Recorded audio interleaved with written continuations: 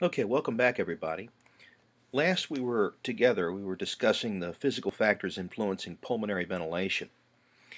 And one of the things we have to appreciate is the role of surfactant in what we call compliance. High amount of unopposed surface tension causes alveoli to collapse during expiration. This is a condition known as atelectasis Surfactant, which is made by type 2 alveolar cells, is a component of liquid film that coats the cells of the alveoli and opposes surface tension's collapsing force. It's similar to detergent and has both a polar and nonpolar end. It disrupts water's ability to hydrogen bond with itself, reducing surface tension and allowing the alveoli to remain partially open even during expiration. If you want an idea of how this operates, um, imagine that you have a wet paper sack and you smash all the air out of it and try to reinflate it. It's quite difficult. But if you were to dunk that sack in soapy water, it would be much easier to inflate due to the ability of the soap to break up the surface tension. Compliance is the last physical factor that influences the effectiveness of gas exchange, and this is the ability of the lungs and the chest wall to stretch and is determined by the amount of alveolar surface tension. Increased surface tension resists the alveoli's tendency to inflate and decreases compliance. Surfactant counteracts this collapsing as the force increases. The um, increase in compliance also follows. Distensibility of the elastic tissue gives the lungs ability to stretch during inflation. This increases its compliance. The ability of the chest walls to move or stretch during inspiration also increases compliance. If compliance decreases, the lungs are less able to expand and the effectiveness of pulmonary ventilation decreases. So, we're going to find out that there's a class of disorders um, that affect the efficiency of pulmonary function that are called obstructive and restrictive. Okay, in an obstructive disorder, what you have is a reduction in wind speed that ends up causing the lungs to take longer to inflate. Okay, in a restrictive disorder, what we have is an inability of the lungs to open up the way that they would like. So when we're talking about compliance, a reduction in compliance is going to be a hallmark of restrictive disorders. Okay, a lot of restrictive disorders result, for instance, in the scarring of the lungs. The result is that the lungs can't open up the way that they would like. There's other factors that play into this as well. IRDS, as we've discussed previously, is the result of inadequate surfactant production by premature infant lungs from the type 2 pneumocytes Surfactants not generated significantly until the last 10 to 12 weeks of gestation, and premature newborns suffer from infant respiratory distress syndrome.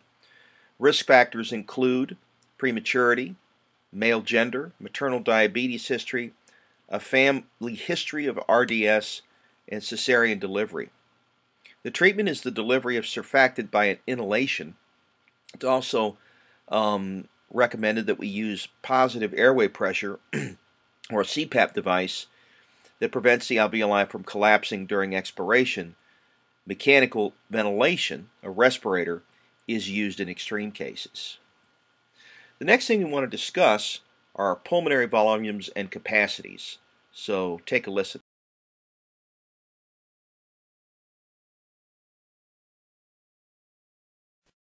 Lung volumes and capacities, with the exception of the residual volume, functional residual capacity, and total lung capacity, are measured with a spirometer. Most spirometers used today are computerized systems that utilize a differential pressure transducer to make measurements that are converted to volumes and flows. These volumes and flows are then displayed on a computer monitor in text and graphic form. The individual pictured here is undergoing a spirometry test. Wearing nose clips, she makes a tight seal with her mouth on the mouthpiece. The technologist then instructs her in performing a variety of maneuvers that will result in the measurement of the lung volumes and capacities. Typically, the patient will be instructed to breathe normally and then to take a deep breath all the way in. She will then be instructed to exhale completely. This can be done slowly for a slow vital capacity measurement or rapidly for a forced vital capacity measurement. Lung volumes and capacities are measured using a slow vital capacity maneuver, while airflows are measured using a forced vital capacity maneuver. Pictured here is the spirometry tracing showing all four lung volumes, tidal volume, inspiratory reserve volume, expiratory reserve volume, and residual volume, as well as all four lung capacities, inspiratory capacity, vital capacity, functional residual capacity, and total lung capacity. We will discuss each of these separately. The tidal volume is the amount of gas an individual inspires or expires during normal, quiet breathing. So as you sit there breathing normally, in and out, that's your tidal volume. Normally that volume is 3 to 4 mLs per pound or 7 to 9 mLs per kilogram of ideal body weight, which is about 8 to 10% of the total lung capacity. The inspiratory reserve volume is the amount of gas that an individual can inhale above a tidal inspiration. So as you're sitting there and you make a normal tidal inspiration and then take a deep breath all the way in as far as you can, that's an inspiratory reserve volume. Normally, it is 60% of the total lung capacity. The expiratory reserve volume is the amount of gas that an individual can exhale beyond a tidal expiration. So as you're sitting there and exhale normally, and then push all the gas out that you possibly can, that's your expiratory reserve volume. Normally, it is 20% of the total lung capacity. The residual volume is the amount of gas remaining in the lungs after a maximal expiration. So as you're sitting there and you blow all the way out as far as you can, the amount of gas that remains in the lungs is the residual volume. Normally, it's 20% of the total lung capacity. The residual volume cannot be exhaled, so it cannot be measured directly with spirometry. The inspiratory capacity is the amount of gas that an individual can inhale starting at a tidal expiration. So as you breathe out normally and then take a big deep breath all the way in, that's the inspiratory capacity. Therefore, it includes the tidal volume and the inspiratory reserve volume. You might take an inspiratory capacity before jumping into the water so that you can stay underwater longer. Normally it is 60% of the total lung capacity. The vital capacity is the amount of gas that can be exhaled after a maximal inspiration. So what you would do is take a big deep breath all the way in and then blow it all the way out as far as you can, and that would be a vital capacity. Therefore, it includes the inspiratory reserve volume, tidal volume, and expiratory reserve volume. The functional residual capacity is the amount of gas remaining in the lungs after a tidal expiration. It includes the expiratory reserve volume and the residual volume. Normally, it is 40% of the total lung capacity. The FRC cannot be measured with spirometry because the RV cannot be exhaled and therefore it cannot be measured directly. The FRC has to be measured indirectly using helium dilution, nitrogen washout, or body plethysmography. The total lung capacity is the amount of gas in the lungs after a maximal inspiration. So if you take a big deep breath in and hold it, the volume of gas in your lungs is the total lung capacity. Therefore, it includes the inspiratory reserve volume, tidal volume, expiratory reserve volume, and the residual volume. Normally, it is about 6,000 mLs for adult males and 4,200 mLs for adult females.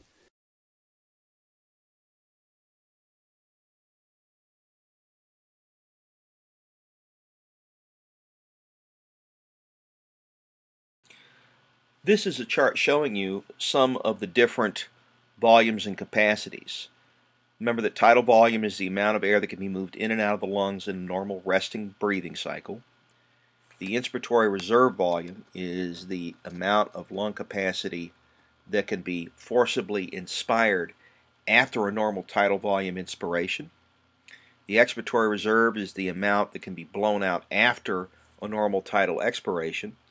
The residual volume is the air that remains in the lungs after a no normal forceful expiration. So after, for instance, a vital capacity takes place, and this is the amount of air that allows the lungs to stay uh, retain their shape. Okay, it's not necessarily involved in gas exchange. Inspiratory capacity is defined as the tidal volume plus the inspiratory reserve, functional residual volume, the expiratory reserve and residual volume. The vital capacity is the tidal volume and the inspiratory and the expiratory reserve. And so that's the amount of air that you can move in and out of the lungs with maximal effort. And then total lung capacity is the vital capacity plus the residual volume. Now, pulmonary ventilation only brings new air in to and removes oxygen poor air from the alveoli. Pulmonary gas exchange occurs as oxygen diffuses from the air in the alveoli to the blood in the pulmonary capillaries while the CO2 flows in the opposite direction. Both of these movements are down their concentration gradients. The two processes that are involved in gas exchange include pulmonary gas exchange that involves the exchange of gases between the alveoli and the blood, and tissue gas exchange that involves the exchange of gases between blood and the systemic capillaries in the body's cells. Pulmonary gas exchange, also called external respiration, is the diffusion of gas between alveoli and blood. The oxygen diffuses from the air in the alveoli into the blood in the pulmonary capillaries while the CO2 moves in the opposite direction. It converts oxygen poor carbon dioxide rich blood delivered to the lungs by pulmonary arteries into oxygen rich blood with less carbon dioxide. Oxygenated blood flows through the pulmonary vein to the left atrium of the heart where it can be distributed to all the body's tissues.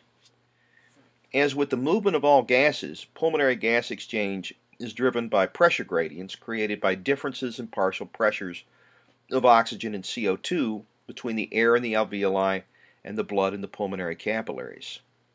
Blood has a low oxygen pressure, about 40 millimeters of mercury, while the oxygen in the air is at 104 millimeters of mercury, and the pressure gradient thus favors the diffusion of oxygen into blood. The pressure gradient that favors the diffusion of carbon dioxide from capillary blood, which is 45 millimeters of mercury, into the alveoli, which is 40 millimeters of mercury, is not as steep, but is aided by carbon dioxide's relatively high water solubility as compared to the solubility of oxygen. Three additional factors affect the efficiency of pulmonary gas exchange, aside from partial pressures and gas solubility. The surface area of the respiratory membranes of both lungs is extremely large. It's about a thousand square feet, while the quantity of blood in the pulmonary capillaries is between 75 and 100 milliliters. Any factor that reduces surface area decreases the efficiency of pulmonary gas exchange. Hypoxemia is low blood oxygen levels, a sign of severely impaired pulmonary gas exchange, while hypercapnia is high carbon dioxide levels, a sign of severely impaired pulmonary gas exchange. The thickness of the respiratory membrane is the distance that a gas must diffuse. Normal membranes are extremely thin. Anything that increases the thickness of the membrane, such as inflammation, will diminish gas exchange efficiency by increasing the time it takes the gases to move. Ventilation perfusion coupling is the last factor that affects pulmonary gas exchange. The degree of match between the amount of air reaching the alveoli and the amount of blood in pulmonary capillaries keep ventilation and perfusion closely matched or coupled. Changes in alveolar ventilation lead to changes in perfusion. Thus, blood flow is directed to areas with the most oxygen. Changes in the efficiency of perfusion lead to changes in the amount of ventilation. Thus, airflow is directed to areas with the most flow. The combination of these two processes ensures that ventilation and perfusion match or are coupled closely to each other. The ventilation perfusion ratio is the measurement that describes this match. When affected by disease, this is called a mismatch. And so, what you're seeing here is a behavior in pulmonary tissue that's opposite what you would expect in normal systemic tissue. In systemic tissue, when we experience low oxygen or high CO2, we usually see an increase in perfusion following that event. in pulmonary tissue, it's reversed. Okay, low oxygen levels see a decrease in perfusion. High oxygen levels see an increase in perfusion. Tissue gas exchange, also known as internal respiration, is the exchange of oxygen and CO2 between the blood and the tissues.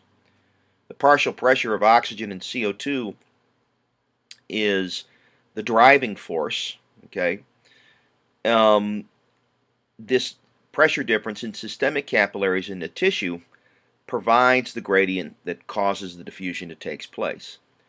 Cells use oxygen constantly for respiration, so the partial pressure of oxygen in tissue is low, while the partial pressure of the um, oxygen in systemic capillaries is high, and this steep gradient favors the diffusion of oxygen into tissues. Tissues produce large quantities of carbon dioxide, which is a waste product of cellular respiration, so partial pressure is high while it's relatively low in the systemic capillaries. This pressure gradient and CO2's ability to dissolve in water favors the diffusion of this gas from the tissue into the systemic capillaries. Factors affecting the efficiency of tissue gas exchange include the surface area available for gas exchange of the branched systemic capillaries needs to be large enough to allow for gas exchange to effectively take place, and the distance over which diffusion must occur. The less distance to diffuse results in more efficient gas exchange. The perfusion of the tissue also plays a role. The greater the blood supply results in more efficient gas exchange. In order for pulmonary and tissue gas exchange to occur, oxygen and carbon dioxide have to undergo chemical reactions that allow for these gases to be transported safely in the blood. Now we know that the solubility of CO2 and the solubility of oxygen in water are not equal. CO2 is much more soluble in water than oxygen is. But despite that fact, CO2 is transported in the blood plasma primarily as bicarbonate, okay, a water soluble derivative of carbon dioxide. So only 1.5% of inspired oxygen is dissolved in blood plasma due to its poor solubility. The majority of oxygen is bound to hemoglobin. There are three ways that CO2 is transported in blood, including as bicarbonate. Ventilation and carbon dioxide affect the body's acid-base homeostasis. And the equation that expresses that is shown here. Do this in black. Okay. And it's a very simple equation. CO2 plus water is in equilibrium with carbonic acid, which can dissociate into protons and bicarbonate.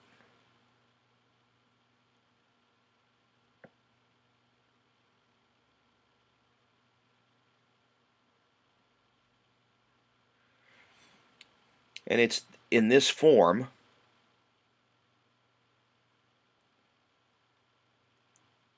that it's transported in the plasma.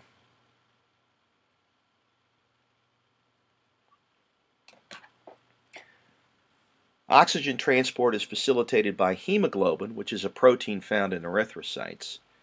It's made up of four subunits, each with a heme group, and each heme group contains an iron atom at its core that combined a single molecule of oxygen. Each hemoglobin molecule can carry four oxygen molecules as a result. Hemoglobin binds and releases oxygen by two reactions, loading and unloading. During loading, oxygen from the alveoli binds to hemoglobin in the pulmonary capillaries. It converts deoxyhemoglobin into oxyhemoglobin. Hemoglobin with 1 to 3 molecules of oxygen is bound partially saturated, while with 4 molecules of oxygen it's bound fully saturated. Once fully saturated, oxygen-rich blood travels to the left side of the heart which pumps it to the systemic circulation. During unloading, hemoglobin in systemic capillaries releases oxygen to cells of tissues. The oxygen poor blood returns to the right side of the heart to be pumped back to the lungs through the pulmonary arteries. Oxygen transport, as a result, is primarily taking place inside the erythrocytes. Percentage of hemoglobin bound to oxygen is called the percent saturation. Hemoglobin saturation depends on two factors. The partial pressure of oxygen in both lungs and tissues, and the affinity or bond strength with which hemoglobin binds to oxygen. One of the main determinants of the percent saturation of hemoglobin is the partial pressure of oxygen in the blood and the tissues.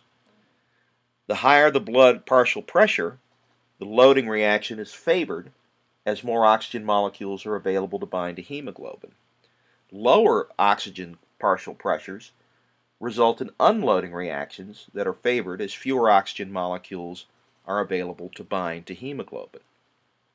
You can see the relationship between the partial pressure of oxygen and the percent saturation of hemoglobin represented in the oxygen hemoglobin dissociation curve shown here. The S shape of the curve shows cooperativity between the subunits of hemoglobin. It also indicates that even when partial pressures of oxygen drop fairly low, from 100 to 80 millimeters of mercury, the percent saturation of hemoglobin only changes slightly, and this helps to load oxygen in the lungs. When the partial pressure of oxygen drops very low, to 40 millimeters of mercury, hemoglobin rapidly unloads its oxygen molecules and the percent saturation declines sharply, and this provides more oxygen to the tissues. Now what we're going to find out in this video that talks a little bit about hemoglobin is the fact that there are several factors that promote the loading and unloading of oxygen to and from hemoglobin, among them pH, temperature, and oxygen and carbon dioxide concentration. So take a listen to this brief explanation and see if it makes sense to you. Welcome back. Let's talk about the oxygen hemoglobin dissociation curve. Does it just look like a squiggly line at this point? Well, as usual, that squiggly line has pretty important implications for our physiology. Let's see if we can make sense of the oxygen hemoglobin dissociation curve and give your understanding a boost. Here we have an empty graph. Now, the first thing to remember is that a graph represents something we have measured, and it compares how two or more measurements relate to one another. In this case, we're comparing the percent saturation of hemoglobin, which just refers to the number of oxygen molecules bound to a hemoglobin molecule, and the partial pressure of oxygen in the blood. Remember that a hemoglobin molecule can bind and transport up to four oxygen molecules. Here we have an empty hemoglobin with no oxygen bound to it. In this state, it's said to be desaturated. When we start adding oxygen molecules to hemoglobin, its saturation changes. If we add 1 to 3 oxygens, we say hemoglobin is partially saturated. And if we add 4 oxygens, hemoglobin is now fully saturated.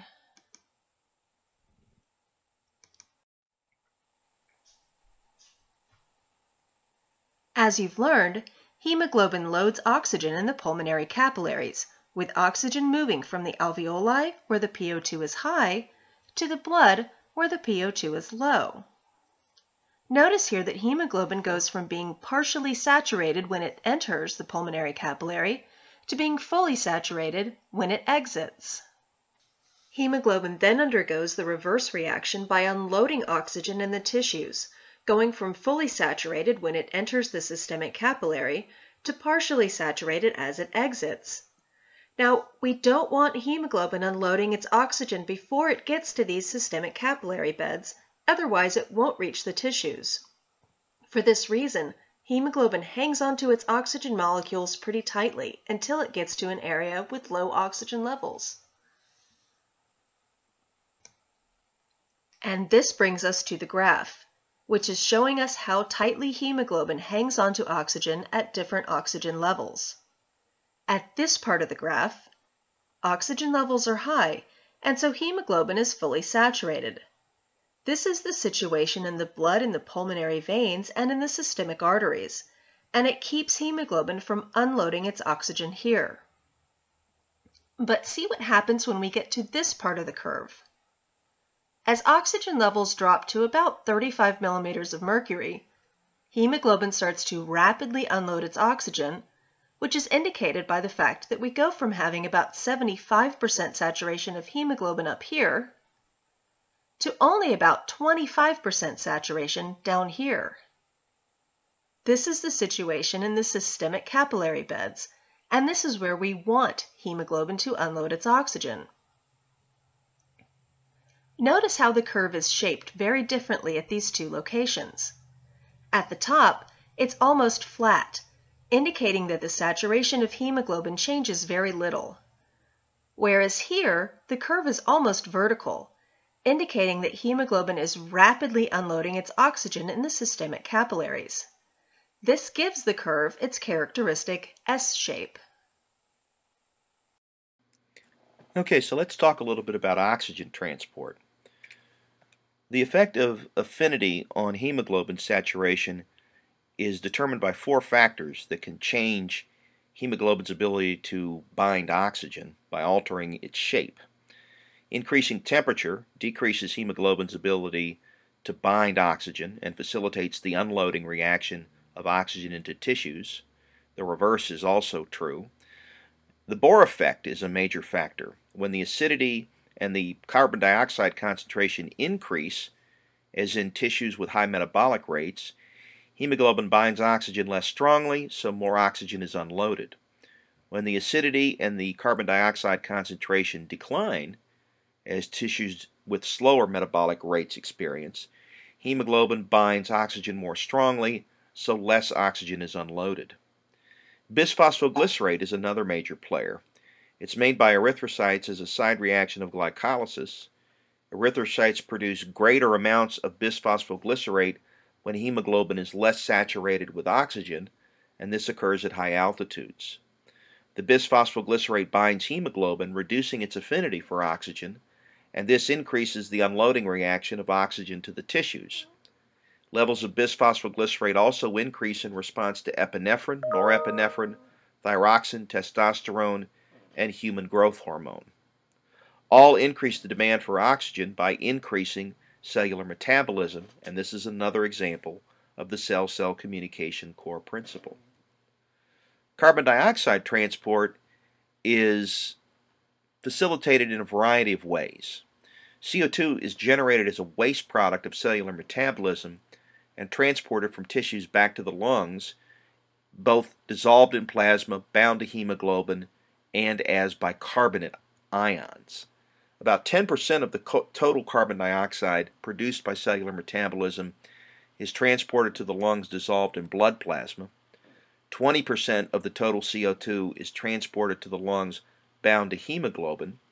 Carbon dioxide binds to hemoglobin polypeptide chains, not the heme group that oxygen binds to. It binds to a different place, and it forms something called carbaminohemoglobin.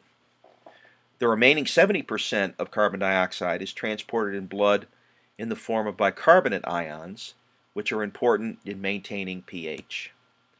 CO2 quickly diffuses into erythrocytes where it encounters carbonic anhydrase, which is an enzyme that catalyzes the reaction shown here.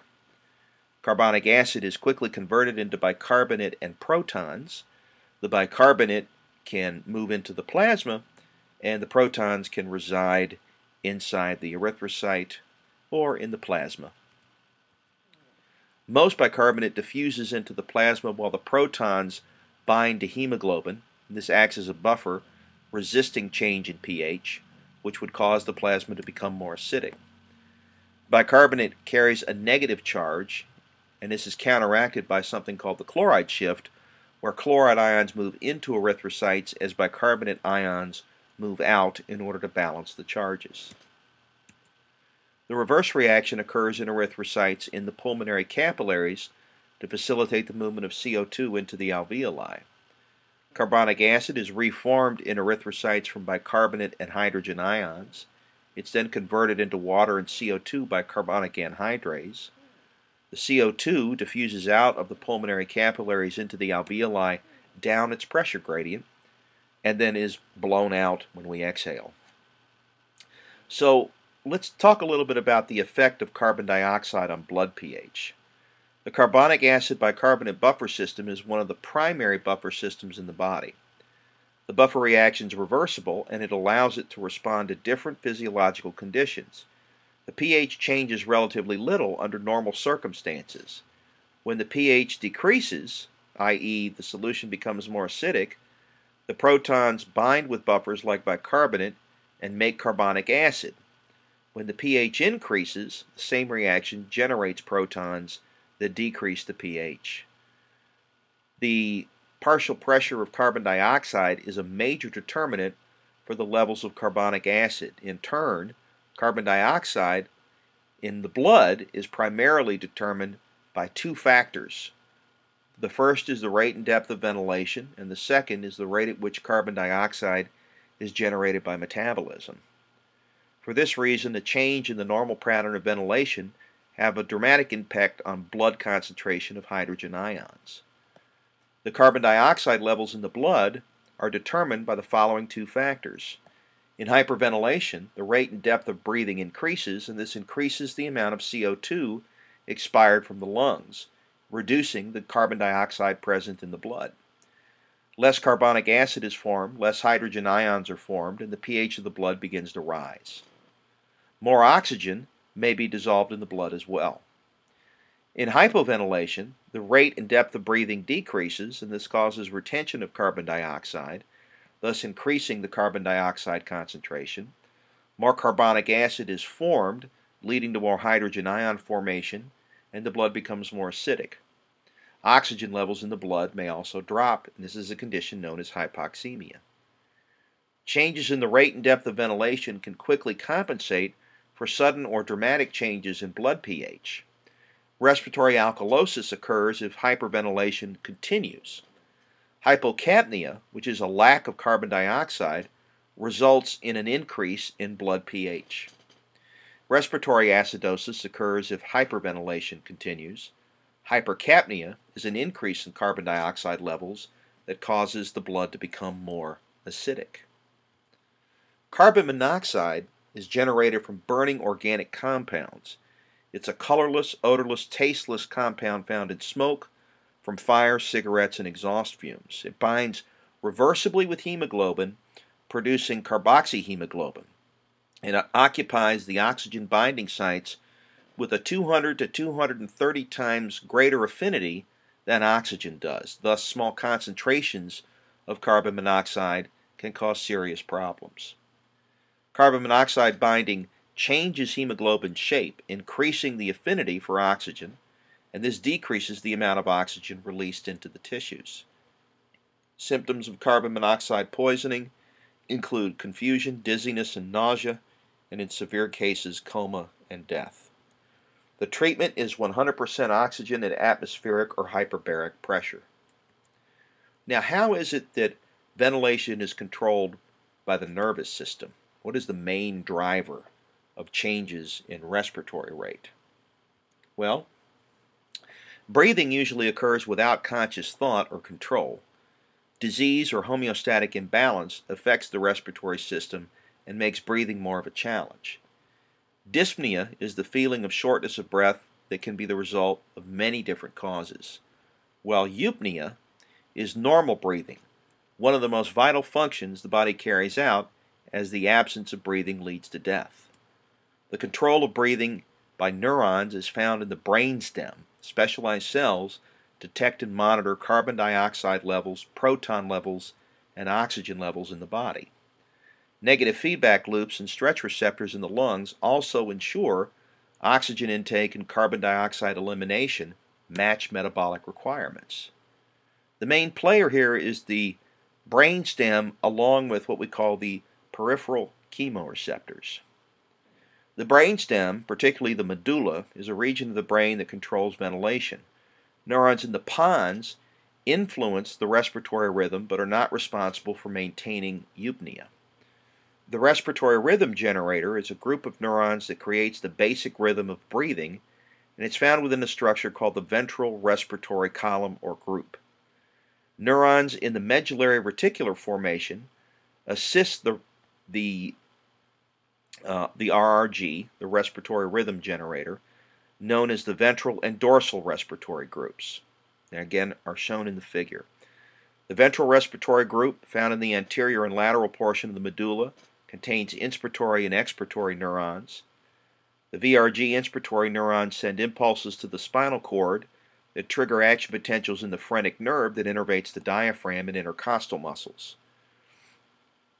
This is an example, again, of the communication core principle.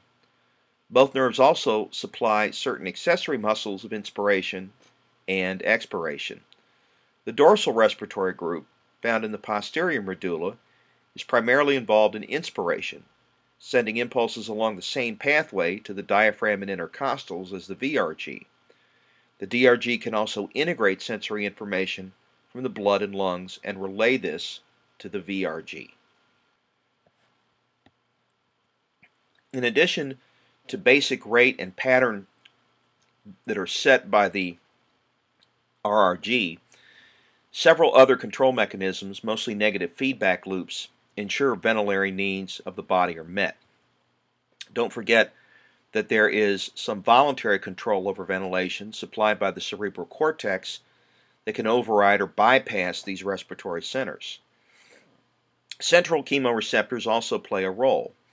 Chemoreceptors are specialized cells that respond to changes in the concentration of a specific chemical in the blood. Central chemoreceptors are neurons in the medullary reticular formation that initiate a feedback loop by detecting changes in CO2 and proton by monitoring proton levels in the cerebrospinal fluid. Central chemoreceptors relay information to the dorsal respiratory group, which alerts the ventral respiratory group, which responds by changing the rate and depth of respiration to match the detected conditions, either stimulating or inhibiting inspiratory or expiratory muscles, leading to the loss or retention of CO2 and the normalization of the pH of the blood. Changes in arterial carbon dioxide concentration are the most powerful stimulus that induces one of the following classic negative feedback loop responses from central chemoreceptors. High carbon dioxide or proton concentration trigger hyperventilation. The VRG is stimulated, which increases the ventilation rate thus lowering the carbon dioxide and proton levels and restoring homeostasis. Low carbon dioxide or proton concentrations, or both, trigger hypoventilation.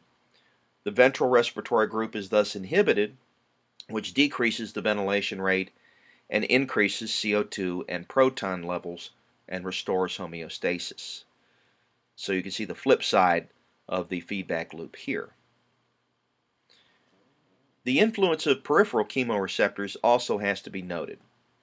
Peripheral chemoreceptors are a group of cells found in the carotid arteries in the aorta that detect a wide variety of stimuli, including carbon dioxide and proton levels, but they're most sensitive to oxygen changes in arterial blood.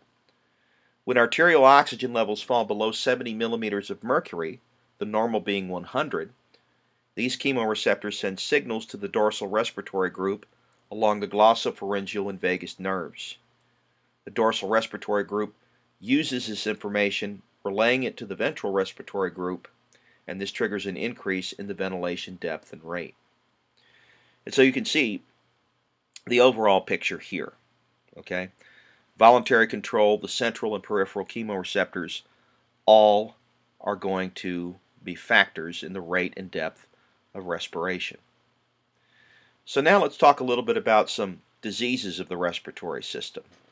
There's two main classes, restrictive and obstructive pulmonary disorders. In restrictive disorders, we see a decrease in compliance and a reduction in the effectiveness of inspiration by increasing alveolar surface tension and destroying the elastic tissues in the lungs. Inspiratory capacity, vital capacity, and total lung capacity are decreased, and this makes effective pulmonary ventilation difficult. Some common restrictive diseases include idiopathic pulmonary fibrosis, which causes chronic inflammation of lung tissue with eventual destruction of elastic tissue and its subsequent replacement with thick collagen fiber bundles. The cause is unknown, but it's associated with heavy smoking. Pneumoconiosis are a group of diseases that result from irritation and inflammation brought about by particulates such as coal, asbestos, fiberglass, and heavy metals. Neuromuscular diseases and chest wall deformities are not purely lung diseases, but potential consequences include pulmonary dysfunction by causing weak inspiratory musculature and or a stiff chest wall. Obstructive lung diseases are a different animal, okay? They increase airway resistance, which decreases the efficiency of expiration. So basically, they cut down on your wind speed. High airway resistance can lead to the collapse of airways after expiration due to otherwise normal recoil of elastic tissue. This traps oxygen poor carbon dioxide rich air in the alveoli. Typically, residual volume increases and vital capacity drops. This group of diseases includes COPD, which is defined as persistent airway obstruction not fully reversible. Three types include emphysema, small airway disease, and bronchitis. Emphysema is characterized by the destruction of structures of the respiratory zone and a loss of alveolar surface area. Most cases are due to smoking. Small airway disease results when the bronchioles narrow and are typically plugged with mucus. It's commonly associated with emphysema. Chronic bronchitis is characterized by excessive mucus in the airways that has to be cleared by coughing and is caused by an increase in the number and size of goblet cells, mucus glands, and paralysis of cilia on respiratory epithelial cells caused exclusively by cigarette smoke. Asthma is an obstructive disease which triggers the airways to become hyperresponsive to components in the inhaled air. Examples include dust mites, mold, pollen, just to name a few. After exposure to a trigger, the following three responses include bronchoconstriction, an inflammation of the airways, and an increased production of excessively thick mucus. Each of these responses causes a significant increase in airway resistance. Even in the absence of a trigger, the airway in people with asthma is inflamed and contributes to hyperresponsiveness. Lung cancer refers to tumors that arise from epithelia that line the bronchi, the bronchioles, and the alveoli. There are many types of lung tumors, each with a different predominant cell type, clinical course, and rate of metastasis. The number one risk factor for lung cancer is cigarette smoking, which raises the risk 13 fold, and heavy smoking as much as 60 or 70 fold. Passive smoke increases the risk of developing lung cancer by about one and a half times that of a non smoker. Now, some of the research on this is mixed. Um, there had been in uh, in previous publications indications that people that were exposed to secondhand smoke had a higher risk of cancer than people who smoked. Obviously, the veracity of this data was called into question, and thus a lot of the research in secondhand smoke is still up for debate. Okay, that brings us uh, to the end of this podcast. I thank everyone for listening.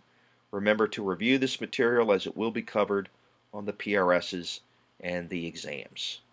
I'll see you in the next podcast. Good night.